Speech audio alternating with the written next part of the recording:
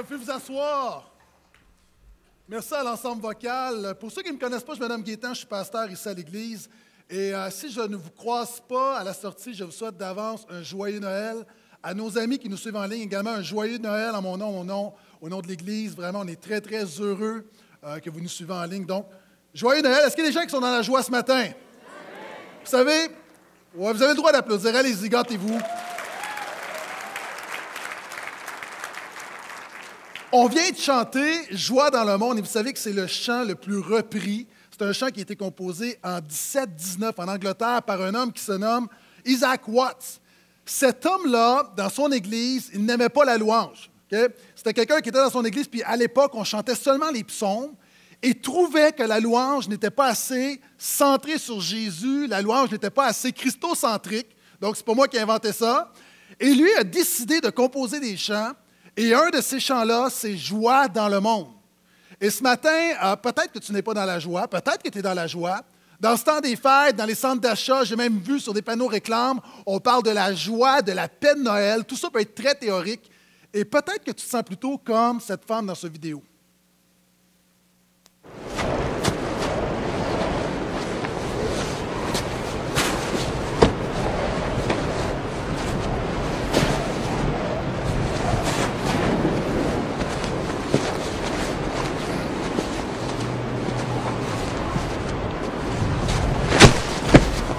We all have a winter breaking point. C'est comme ça que je me sentais lorsqu'on a eu notre dernière tempête de neige. Maintenant, j'aimerais parler de joie dans le monde et euh, j'aimerais m'appuyer sur justement ce cantique qu'on a chanté qui s'appuie lui-même sur le psaume 98. Et j'aimerais vous le lire. Donc, on a chanté Joie dans le monde, que la terre et le ciel chantent, exaltent son Sauveur. Tout ça s'appuie sur le psaume 98. Je vais vous en faire la lecture ce matin pour ce bref partage avant qu'on retourne au reste de notre programme musical. Donc, psaume 98. Chantez pour le Seigneur un chant nouveau, car il a fait des choses étonnantes. Sa main droite et son bras saint lui ont donné la victoire. Le Seigneur a fait connaître son salut. Il a dévoilé sa justice sous les yeux des nations. Il s'est souvenu de sa fidélité, de sa constance envers la maison d'Israël. Toutes les extrémités de la terre ont vu le salut de notre Dieu. Acclame le Seigneur terre entière. Éclatez en cris de joie, chantez. Jouez de la lyre pour le Seigneur. Sur la lyre, jouez une mélodie. Avec des trompettes au son de la trompe, donc des, on prend des instruments de musique de l'Antiquité. Lancez des acclamations devant le roi, le Seigneur. Que la mer retentisse avec tout ce qui s'y trouve, le monde avec tous ceux qui l'habitent. Car que les fleuves battent des mains, qu'avec eux les montagnes poussent des cris de joie devant le Seigneur, car il vient pour juger la terre et jugera le monde avec justice et jugera les peuples avec droiture. Est-ce que je peux entendre Amen? Amen. Noël, c'est joie dans le monde, mais j'aimerais juste dire qu'il n'y a pas de joie dans le monde sans du monde dans la joie. Ça, c'est très profond. Parce que c'est la ligne la plus profonde de mon message. Donc, si vous ne dites pas Amen maintenant, ça va être long. Il n'y a pas de joie dans le monde sans du monde dans la joie. Vous savez, ce matin, ce qu'on veut déclarer, c'est que notre joie n'est pas dans le carrefour Laval, elle est dans la crèche de Bethléem. Jésus offre une joie que rien ne peut offrir. Et quand on regarde à ce psaume-là, le psaume verset 1 à 3, on voit six raisons pour être dans la joie ce matin. Six raisons pour être joyeux à Noël. D'ailleurs, on dit joyeux Noël. Pourquoi? Parce que Noël, c'est la naissance de Jésus et l'œuvre de Jésus amène une joie incommensurable. Avez-vous remarqué que le début de la saison de Noël commence toujours de la même manière? Comment est-ce qu'on sait qu'on est dans l'esprit des fêtes? Pas tout à fait ça. Les chants de Noël à la radio. Le psaume dit Chantez pour le Seigneur. Avez-vous remarqué que lorsqu'on est dans la joie, on chante? Nous, à la maison, on a eu un, peu un débat parce qu'il y avait des gens qui étaient dans l'esprit des fêtes, puis il y en a d'autres qui n'étaient pas dans l'esprit des fêtes. Fait que là, mon fils chantonnait, puis là, ma fille dit Arrête de chanter des chansons de Noël, je ne suis pas encore rendu là. Et, et, nous, à la maison, le boss de la musique de Noël, c'est ma femme.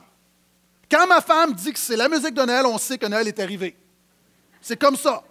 Donc, quand il y a de la musique de Noël, tu es dans l'esprit de Noël. Et c'est pourquoi le psaume dit Chantez Avez-vous remarqué que dans toutes nos célébrations, on chante? À Noël, on chante. On chante, bientôt c'est le jour de l'an. Les Québécois chantent, c'est le temps d'une dinde, dinde, dinde. Les Haïtiens chantent, c'est le temps de la soupe joumou.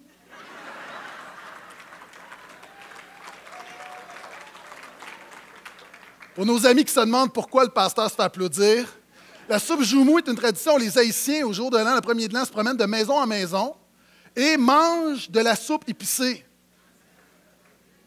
Et tu peux visiter plein de gens, mais tu manges toujours de la soupe. C'est pour ça que les Haïtiens ne mangent pas de dinde, parce qu'ils mangent juste de la soupe. Puis j'imagine, je ne sais pas, mais j'imagine qu'il y a du compas également, toujours. OK, toujours, toujours. C'est culturel. Ah, je ne sais pas, nos amis, nos amis hispanophones, vous chantez quoi? Feliz Navidad, Prospero Año et Felicidad? Oui, tu as un grand accent, hein? Est-ce qu'on dit Prospero Año? Prospero Agno, parce que vous ne mangez pas d'Inde, vous mangez de l'agneau. Right? Non? La réalité, c'est qu'on chante. On chante toujours. Toutes les nations chantent. Lorsque c'est la Saint-Jean-Baptiste, Jean du pays, avez-vous remarqué, lorsqu'on veut célébrer quelqu'un, on chante Bonne fête, bonne fête, on chante continuellement? Avez-vous remarqué cette semaine, lorsqu'on a voulu honorer un joueur du Canadien de Montréal, Sakou Koivu, les gens chantaient Olé, olé, olé, olé. Et lorsqu'il y a un mort, Jean Béliveau, une minute de silence. Chanter pour le Seigneur et Noël, c'est normal qu'il y ait des chansons liées à Noël, parce que c'est un événement joyeux. Amen? Et ici, on voit dans le verset 1 à 3, il y a six raisons pourquoi on devrait se réjouir ce matin. La première raison, parce que Noël, c'est quelque chose de totalement nouveau. Le psalmiste dit Chantez pour le Seigneur un chant nouveau. Cette semaine, euh, j'ai eu une discussion avec ma femme. Ma femme aime beaucoup la musique de Noël, je vous l'ai dit. Je me suis assis avec elle et je lui ai dit euh, Chérie, j'ai quelque chose, quelque chose à t'apprendre. Ça va être difficile pour toi de l'accepter, mais laisse-moi finir, s'il vous plaît. Ça fait maintenant un mois qu'on écoute la musique de Noël. Je suis tanné. Il me reste encore dix jours jusqu'à Noël. Je suis plus capable. Pourquoi? Parce qu'à la radio, c'est toujours les mêmes 15 tournes. Puis j'aime la musique de Noël, mais cette année, pour la première fois, je suis tanné. All I want for Christmas is you. Je suis tanné du White Christmas. Même si tu changes la couleur, tu es rendu à Blue Christmas, je suis tanné. Santa Baby. Et je me suis interrogé pourquoi, comment ça se fait, moi qui j'aime Jésus, c'est la naissance de Jésus, comment ça se fait que je suis tanné de chanter, d'entendre ces chansons de Noël? Bien, j'ai réalisé parce qu'à la radio, les 15 tunes qu'on entend ont complètement évacué les chansons qui parlaient de Jésus. Ce matin, les chansons que vous entendez, vous allez à peu près pas les entendre à la télévision ou à la radio. Et ça m'a, ça m'a remis en question justement sur le fondement de Noël. On est en train de kicker Jésus out de sa fête. C'est comme si vous faites un party pour mon 40e qui arrive très bientôt. Je vous avise pour que vous puissiez vous préparer ça comme ça. Vous faites un super party, mais, vous ne m'invitez pas. Et c'est un peu ce qu'on fait présentement dans notre culture avec Noël. Mais le psalmiste nous dit que Noël, c'est quelque chose de complètement nouveau. Lorsque tu focus sur Jésus, il y a comme un renouvellement de l'esprit Noël qui prend place. Parce que même si j'aime beaucoup ces chants-là, que je riais Winter Wonderland, je les aime beaucoup, ces chants séculiers, mais à la fin, c'est vide et tu t'offres pas toute l'année avec ces chants-là. Mais Jésus va être avec toi toute l'année continue. Noël, c'est quelque chose d'étonnant. J'aime beaucoup cette, euh, cette, photo de Norman Rockwell, qui est un illustrateur de la génération passée. Le petit garçon qui découvre le costume du Père Noël. En fait, c'est le costume de son père. Il vient d'apprendre que le Père Noël n'existe pas. il y a des gens ce matin, tu es scandalisé. Ben voyons donc. Oui, je m'excuse de te l'apprendre, mais oui, le Père Noël n'existe pas. Mais c'est étonnant. Il est étonné. Et ça me rappelle que Jésus, la naissance de, Jésus, c'est quelque chose d'étonnant. Que Dieu se devienne, se fasse chair, marche sur cette terre, je m'excuse, c'est étonnant. Il n'y a aucune religion, aucune philosophie, aucune culture qui est arrivée à quelque chose d'aussi révolutionnaire et d'aussi étonnant que Dieu se fasse chair, devienne homme. Par exemple, quels sont ceux ici, vous avez un animal de compagnie? Un chien, levez la main. Un chat, Hein, la différence entre un chien et un chat. Un chat. Non, non, bravo, un chien s'ajappe. On voit que quelqu'un ici a, étudié longtemps. Euh, une église d'érudits. Euh, il y a différentes différences, on ne va pas toutes les faire, mais ce que je dirais, c'est que le chien, tu es son maître. Le chat pense qu'il est le maître. C'est deux choses. Mais la réalité, si tu apprends que ton chien ou ton chat fait une dépression, vous savez, un vétérinaire de l'Église me dit un chien peut faire une dépression. Je ne savais pas. Si ton chien est en dépression, tu as beau lui parler, ben non, Fido, ben non, toutou, ben non, maîtresse, elle t'aime, elle va donner nonos, puis il est encore déprimé. Si la seule manière de le sauver, c'est que tu deviennes un chien à ton tour, afin que tu communiques le langage des chiens et que tu puisses l'encourager et le relever. Si tu avais la capacité de lâcher ta famille, d'abandonner ton travail, ta vie, pour t'incarner en chien afin de sauver ton chien, est-ce que tu le ferais? Ici, il y a des gens, vous êtes maniaques de vos animaux. Mais lorsque tu réaliserais que la chose la plus fun quand tu es un chien, c'est simplement de branler la queue, tu as beau aimer ton chien, tu ne vas jamais faire ce sacrifice. La Bible dit que Dieu a été fait chair, il est devenu un homme. Puis là, les gens, vous êtes fâchés, vous dites ben, J'aime pas ton analogie, Pasteur Gaétan, parce que là, tu parles de chien, puis de nous, puis on a quand même une dignité, puis une noblesse, puis ne sois pas susceptible ce matin. Là, ce que je veux dire, c'est que l'écart entre un homme et un chien est beaucoup plus mince que celle entre un Dieu et l'homme. Et tu dois réaliser que Jésus a été fait chair, c'est quelque chose d'étonnant. Toutes les religions vont apprendre à l'homme comment monter vers Dieu, alors que les christianistes, ce n'est pas l'homme qui monte vers Dieu, c'est Dieu qui descend vers l'homme. Et ça, c'est étonnant.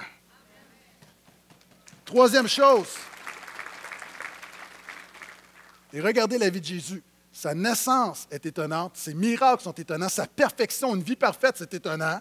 Sa mort est étonnante, alors qu'il se livre lui-même, sa résurrection est étonnante, tout est étonnant en Jésus. Et son action encore aujourd'hui, dans nos vies, c'est étonnant ce qu'il fait. Moi, je suis étonné qu'un Dieu comme ça agisse dans un homme comme moi.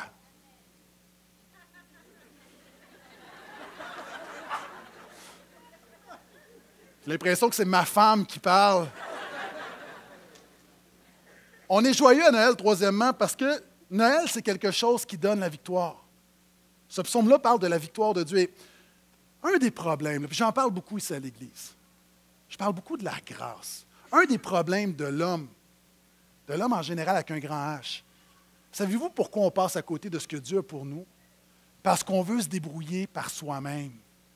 Et on vient juste à Dieu quand on a un problème alors que Jésus veut marcher avec toi jour après jour. Et ça me fait penser à cet homme, je vais vous montrer une vidéo, puis il faut être réveillé ce matin, là, la vidéo dure 7 secondes. Et ce vidéo-là illustre l'attitude de l'humanité par rapport à Jésus. On se dit qu'on est une bonne personne, on veut s'en sortir par nous-mêmes, puis on veut se débrouiller. Et regardez, selon moi, là, ce, ce jeune homme-là, qui est en train de courir sur un tapis roulant et voit une belle jeune fille passer, voyez ce qui se passe.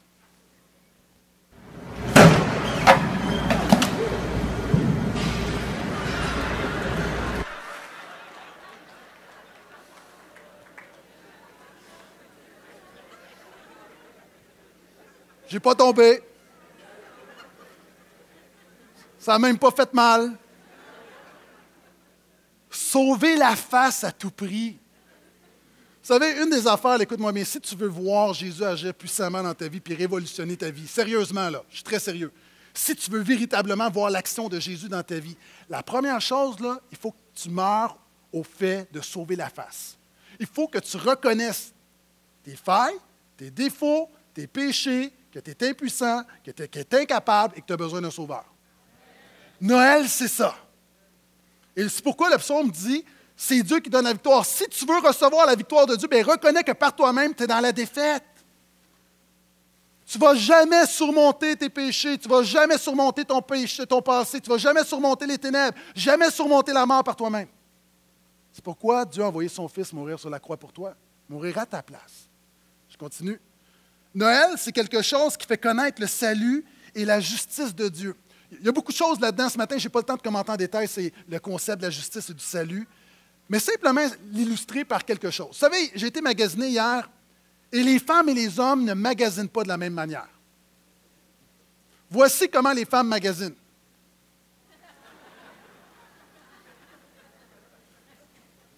Ma femme magasine comme ça.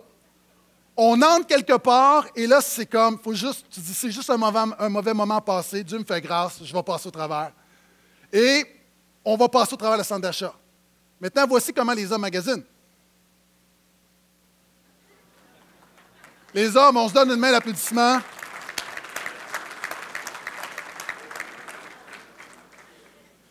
Mesdames, restez assis, s'il vous plaît, je n'ai pas terminé. Qu'est-ce que je veux vous dire? Je veux vous dire que ici, il y a différentes personnes et dans la vie, on prend différents chemins. Mais il y a une chose qui nous unit tout le monde, que tu sois dans cette église depuis 20 ans, que tu sois ici ce matin, que tu es invité, que tu arrives par hasard, que tu t'es trompé, que tu pensais que c'était un magasin, puis tu ne sais pas, puis tu dis qu'est-ce qui se passe ce matin? Euh, c'est correct, Dieu est puissant. Que tu sois ici, que tu sois un jeune, que tu sois un vieux, il y a quelque chose qui nous unit. Chacun d'entre nous, nous recherchons dans la vie, nous voulons être aimés, nous voulons être respectés, nous voulons trouver un sens à notre vie, nous voulons s'épanouir, nous voulons une deuxième chance. Ça, là, c'est chacun d'entre nous. Et on peut, tout au long de notre vie, on va prendre plein de chemins pour trouver ces choses-là, alors que la Bible dit que Jésus est le chemin. Noël nous rappelle que Jésus est le chemin simplement. C'est ça qui nous a fait connaître le salut et la justice de Dieu. Noël, c'est quelque chose qui accomplit la promesse de Dieu des, des milliers d'années d'avance. Vous savez, quand tu étudies la Bible, tu te rends compte que Jésus a été annoncé des milliers d'années d'avance. Et ça, tu ne peux pas tricher ça. Tu ne peux pas le tricher. Il y a des gens qui viennent blaser dans notre culture où on est très cynique. Il y a des gens qui disent Ah oui, Dieu l'a annoncé d'avance, puis des milliers d'années d'avance. Puis on n'est comme pas impressionné. Écoutez-moi bien, là. Environnement Canada a de la difficulté à annoncer de la neige deux jours d'avance. Dieu, des milliers d'années d'avance, a annoncé la venue de son Fils. Et la sixième raison pour laquelle on devrait se réjouir, c'est que Noël, c'est quelque chose qui a un impact jusqu'aux extrémités de la terre. C'est intéressant parce que ici, ce matin, il y a des gens de toutes les nations. Imaginez, là, Jésus va naître dans une crèche.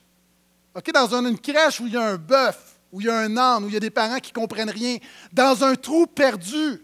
OK, Bethléem, ce n'est pas New York. C'est un trou perdu d'un pays, d'un petit pays, Israël, il y a 2000 ans.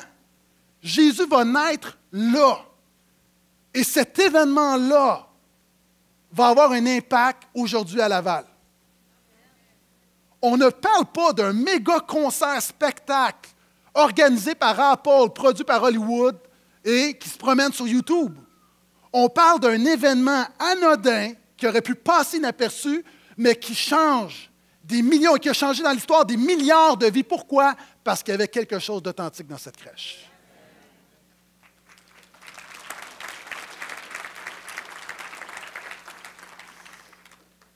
J'ai presque terminé versets 4 à 6.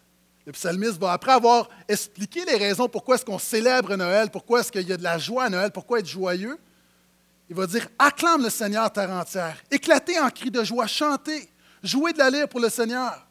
Sur la lyre, jouez une mélodie avec des trompettes au son de la trompe, lancez des, acclamations devant le Seigneur. Ici, c'est important, quand tu vis quelque chose, quand tu reçois Jésus, tu as le goût de le partager. Il y a des ici, ce matin, tu es là parce que quelqu'un t'a invité. Pourquoi? Ben, parce que on ne veut pas chanter seul. On veut que tu chantes avec nous. On veut que tu acclames avec nous. On veut que tu pousses des cris de joie avec nous. Souvent dans la Bible, et on pense que c'est les, MC modernes qui ont inventé Make some noise, faites du bruit. C'est pas récent. Ils ont piqué ça, ils ont volé ça dans la Bible. C'est partout dans la Bible où ça dit Faites du bruit pour Jésus. Parce que c'est un événement incroyable. Et c'est pour ça que ça dit jouer de la lyre. Tu dis, j'ai pas de lyre. Non, mais tape sur quelque chose. Pas sur quelqu'un, sur quelque chose. Mais réjouissons-nous devant le Seigneur. Regardez, j'ai presque terminé, devant le roi, le Seigneur. Je termine avec ceci. Permettez-moi de m'asseoir quelques instants. En vieillissant, j'ai réalisé qu'il y a des chansons de Noël que j'avais mal comprises. Par exemple, Hier soir, j'ai vu petite maman embrasser le Père Noël. Là, même, je me souviens, quand j'étais petit, je trouvais cette chanson-là bizarre. Je trouvais ça bizarre que maman embrasse le Père Noël. Puis non seulement je trouvais ça bizarre, je trouvais pas ça correct pour papa. Sérieux, je trouvais. Dans ma tête d'enfant, c'est comme OK, c'est le fun, Père Noël, j'ai des, cadeaux, mais en même temps, ça marche pas. Puis c'est tellement, c'est tellement pas correct que maman et le Père Noël vont aller se cacher sous le gui pour s'embrasser, pour ne pas se faire prendre. En vieillissant, j'ai compris ce que ça voulait dire. J'ai compris en fait que l'enfant qui voit maman embrasser le Père Noël, c'est parce que le Père Noël, c'est papa. Parce que le Père Noël n'existe pas. Encore une fois, ça fait deux fois que je le dis, il y a des gens, là, tu étais peut-être traumatisé. Euh, on peut prier pour toi quand même. Hein? Puis pourquoi est-ce qu'ils vont sous le gui? En vieillissant, j'ai compris que le gui, tu ne te caches pas sur un gui, c'est juste un feuillage, puis c'est un prétexte pour embrasser la madame, pour ceux qui ont besoin d'un prétexte. Puis en réfléchissant, j'ai comme compris le message de cette chanson-là. Mais savez-vous quoi? On peut faire le parallèle avec l'ensemble des chants de Noël. On chante des choses, puis peut-être tu es invité ce matin. Peut-être que même tu es à l'église régulièrement, mais il est comme, il y a une profondeur que tu ne saisis pas, que tu ne vis pas. Parce que Noël, ce n'est pas juste entendre, ce n'est pas juste chanter, c'est vivre le message qu'il y a dans les chansons de Noël. Vous savez, on a chanté tout à l'heure Exalte ton Sauveur. Moi, là, toute ma vie, j'ai aimé des chants de Noël, mais à un moment donné, à 17 ans, quand j'ai donné ma vie à Jésus, il y a comme un avant et un après. Puis quand maintenant j'entends Exalte ton Sauveur, je suis tellement reconnaissant pour Jésus qui m'a sauvé de la mort, de la peur, du péché, des ténèbres, de toutes mes bibites. Je suis tellement reconnaissant. Ma vie n'est pas parfaite, mais il m'a sauvé tellement d'affaires, puis il continue son œuvre en moi. On a chanté tout à l'heure au peuple fidèle, venez triomphant, joyeux. Témoignage, entre les deux réunions, j'ai un homme qui vient me voir. Cet homme-là dit, ça fait 22 jours que j'ai arrêté de boire. Je suis un alcoolique, là. Ça fait 22 jours que j'ai arrêté de boire. Maintenant, il suit Jésus. Ça, lui, il comprend, venez triomphant. Il a compris c'est quoi être triomphant.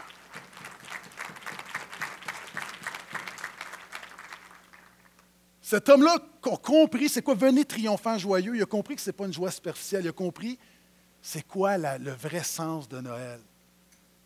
Ce matin, la question n'est pas est-ce que tu célèbres Noël, tu célèbres pas Noël. La question, c'est est-ce que tu vis Noël? Parce que tu veux vivre Noël toute l'année. Toute l'année, parce que les cadeaux vont disparaître. On va enlever le sapin. Il n'y aura plus de dinde. Il ne restera plus de soupe plus de tacos. Mais Jésus demeure à jamais. Amen. Ce matin, j'aimerais juste prier. Prier pour toi. Peut-être que tu es invité, peut-être que tu es ici, mais tu as besoin. Tu dis, moi, là, ce matin, j'entends, je vois, je l'esprit de Noël, j'entends parler de la bonne nouvelle de Jésus, puis je veux juste le vivre. Alors qu'on penche nos têtes, tout le monde, s'il vous plaît, par respect. Si c'est ton cas ce matin, tu aimerais que je prie pour toi, je vais te demander de faire une chose très, très simple. Juste de lever ta main. Pas nécessairement devant moi, juste de lever ta main devant Dieu, un signe de foi.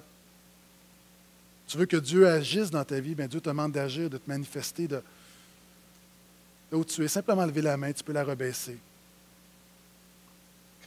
Si ce matin tu veux, peut-être tu vis une période difficile où tu n'es pas du tout dans la joie de Noël. Et toi, là, ce n'est pas juste d'un petit pep que tu as besoin.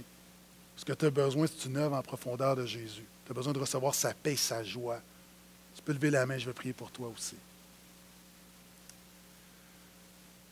Seigneur, tu vois, premièrement, merci pour chaque personne qui est ici ce matin, qui s'arrête dans le tumulte du temps des fêtes pour euh, s'arrêter, regarder à toi, élever ton nom, exalter le Sauveur comme on a chanté. Et non seulement exalter, chanter, mais qui vient prier également pour recevoir ta victoire, Jésus, ta bonne nouvelle. Seigneur, expérimenter la joie de savoir nos péchés pardonnés, de savoir que notre passé souvent qui nous a culpabilisé notre passé, souvent des éléments qu'on est moins fiers. De ce passé qui nous rattrape, de savoir que tout ça peut être balayé par ton pardon, par ta grâce, Jésus. De savoir que tu contrôles notre passé, tu contrôles notre présent et tu contrôles également l'avenir. Il y a des gens qui sont ici, qui sont dans la peur, non seulement à cause du passé, mais ils sont dans la peur pour ce que 2015 réserve. Dans la peur par rapport à leur famille, leur travail, leurs finances, leur relation avec toi, et Seigneur, déclarons que tu es le maître de 2014, comme tu es le maître de 2015, tu es le maître de l'éternité. Cette œuvre qui a commencé il y a 2000 ans à ta naissance, Jésus, a une répercussion éternelle. Il n'y a rien qui va l'arrêter. Il n'y a rien de plus puissant, il n'y a rien de plus fort. Et je prie, je prie, Seigneur, que tu te manifestes maintenant dans la vie de chaque personne qui ouvre son cœur, qui met sa foi en toi. Je prie que tu donnes cette joie profonde, authentique, spirituelle. Je prie pour cette paix qui surpasse les problèmes, les circonstances de cette vie. Je prie pour, Seigneur, l'assurance de vivre Noël.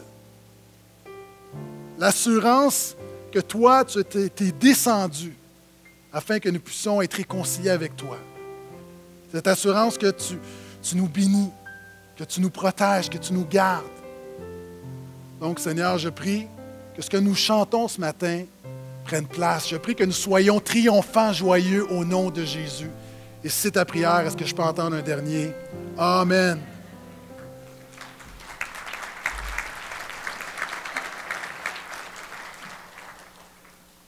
En terminant ce matin, le psaume termine, le psaume, euh, le verset 7 à 9, en disant Voyez, allez par tout le monde. Puis va dire, le, psalmiste va dire aux montagnes Chantez, criez. Et il y a un vieux cantique qui est devenu un chant de Noël qui s'appelle Go Tell It to the Mountain. Et c'est un chant qui n'est pas très répandu. Quelques artistes gospel country l'ont fait. Et ce matin, je trouve que c'est tellement approprié, alors que le psalmiste dit Joie dans le monde. Pourquoi il y a la joie dans le monde? Parce que la bonne nouvelle de Jésus est annoncée partout dans le monde. Et euh, l'ensemble vocal va chanter, puis en terminant, je vais juste faire quelque chose. Là, je ne l'ai pas fait à la première réunion, mais je vais le faire. Vous savez, lorsqu'ils se préparent, ils se parlent puis ils décident comment s'habiller. Mais ils ne m'ont pas envoyé le courriel. Mais vous savez, les pasteurs, on est connectés avec Dieu. Et moi, je pense que vraiment un message de la part de Dieu sur mon talent vocal.